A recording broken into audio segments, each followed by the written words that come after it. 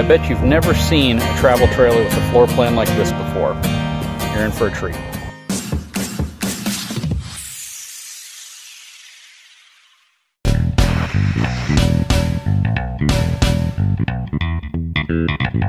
So you are looking at the Keystone Outback 332 FK. FK stands for front kitchen. This is going to be really cool. First of all, one of the few travel trailers that has a 7.1 auto leveling system. So it uses jacks in the front and back as well as some additional jacks in the center area right behind the tires and the front jack to help level and stabilize a unit. Also has a really interesting storage area. So instead of going all the way across, you have a wider storage area to put things in. This is really nice because you don't have to reach towards the center to get anything. Everything you have is going to be in this area. As you can see, full aluminum frame construction. And on the driver's side, there is no storage up front, so they give you storage under this back slide here. So it's quite a bit of storage. I'd say it's roughly four feet deep by about maybe 18 inches high. A lot of storage under here. Now, something interesting about this travel trailer is it doesn't ride on your traditional I-beam frame. It's actually a semi-closed C-channel frame, and it runs full length of the unit, and the frame is 10 inches tall. Here's one of the rear stabilizer jacks used to auto level the unit. Black tank flush. Very interesting design in the wheel. Two-tone polished aluminum with a black trim ring that runs around it. 225, 75, 15 E-rated tires. There is no upgrade to the center equalizer, which I would have expected actually.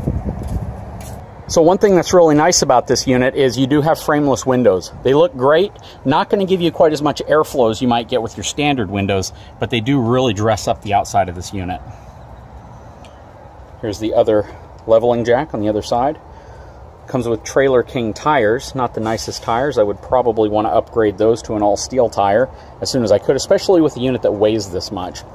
The awning system on here is a little confusing because it does extend over the slide, but the slide only comes out about a foot and a half, two feet, so it's not really going to take up that much of the space beneath the awning. So it has regular incandescent rear tail lights, incandescent bulbs up top. It is prepped for a backup camera and it has a fold down luggage rack, which is really nice. This is a great feature to have on travel trailers. Use it for bikes, coolers, generator, whatever you need. Here are the rear leveling jacks. Has the dual entrances, so this will take you directly into the back master bedroom. Aluminum steps for both front and back. And something that's also kind of unique about this coach is that it has a window on the back door and a handle. In many cases, the back door does not have a window or a handle. Overall, this is a really nice unit. Let's take a look at some of the numbers. Sticker on this shows that it has a gross vehicle weight rating of 10,500 pounds, cargo rating of 1,900 pounds, again 225, 75, 15 E-rated tires. Now real quick before we step in here, I want to show you that this has a cable-driven slide system. It's very, very common amongst Keystone units. I don't necessarily have a particular type of system I like, but I have heard that you got to be more careful with these cables because if the system comes out of alignment, this is one of the more complex systems to realign. Not a bad system. Montana's have been using them for a long time. Montana being the number one selling RV brand in the country, it's probably a pretty reliable system, but I have heard of some horror stories dealing with these. Now this is a 332 front kitchen again.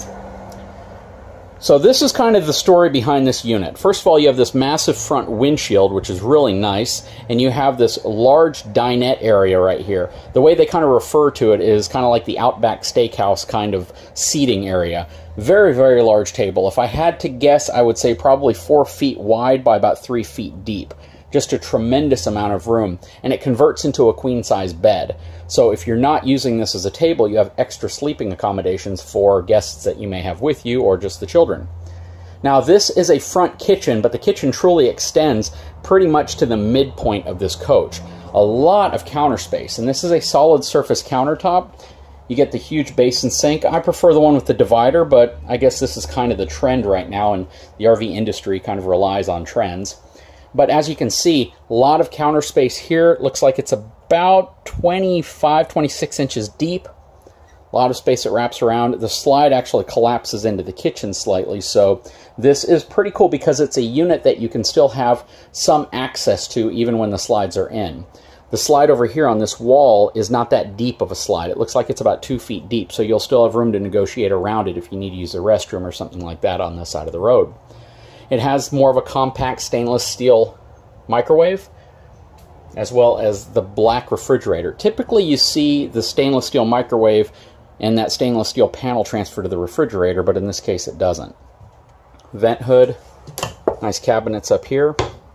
You know, I would like to see little hydraulic lifts, or at least a locking mechanism that can hold the cabinet up in this unit. Has some nice trim and detail work throughout it. Has dual air conditioning, so this is the main air conditioning, which is also ducted. And then you have another air conditioning unit in the master bedroom at the back of the coach. So another thing to note, right next to the entry door, you have another door here. And this is a pretty large door, and when you open it, it's just a very, very sizable pantry area. It's probably roughly 22 inches deep, and it's about three feet wide. So you have a huge pantry in this travel trailer, which is relatively uncommon. Also, you have theater seating on this side as well as a hide-a-bed seating on this side. So the love seat folds out into a full-size bed and you have some theater seating right here. The TV, which is a 55-inch TV, is able to pull off the wall and rotate. This is kind of one of those areas where it's kind of a love it, hate it relationship where you like this living room setup except you're kind of close to the TV if you're sitting on either one of these chairs. So if you don't have the TV pulled out and rotated towards you, it's going to be a hard angle to look at.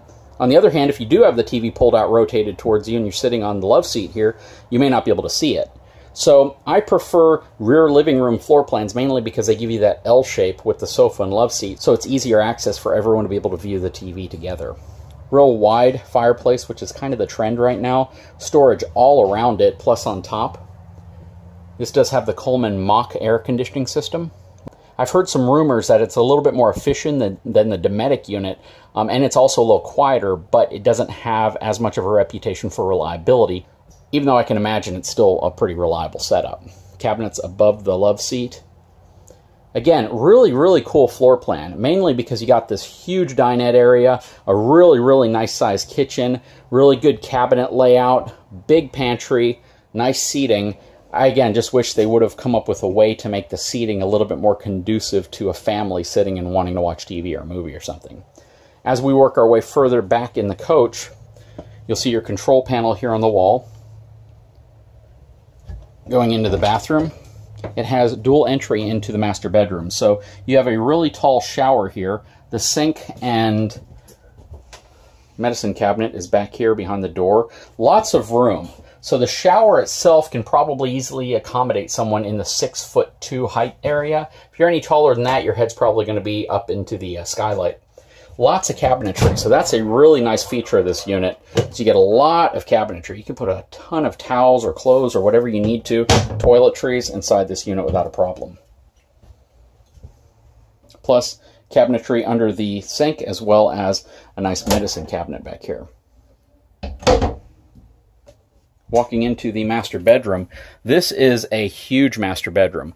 It is a single slide, but it's one of the longer super length slides. So this slide is probably closer to three feet in depth, and it gives you a tremendous amount of room in front of the bed. This is also a king size bed, so they fit a really large bedroom in the back of this travel trailer.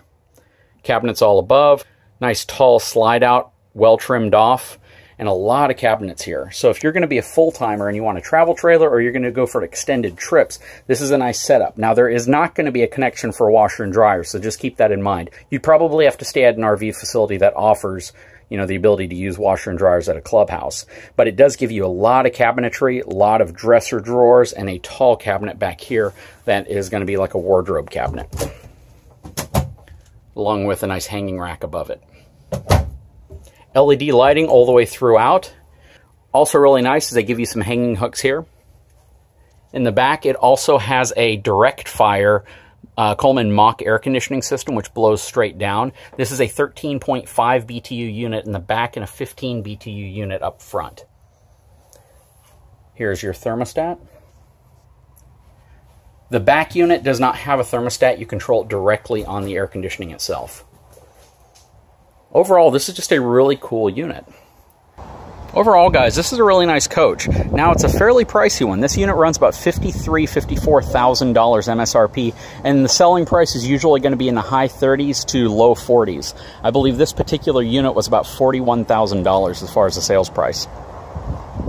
Once again, guys, I really appreciate you for watching my channel. This unit's currently at Ron Hoover RV and Marine in Corpus Christi, Texas. They are really, really great to work with here. They don't pressure you, they don't follow you around, and they just give you the opportunity to look at a selection and then have a salesperson kind of guide you through the details about that specific one you looked at when you're ready. Anyways, guys, if you haven't had a chance, please take a moment, subscribe to my channel, give me a thumbs up, and I will talk to you again soon.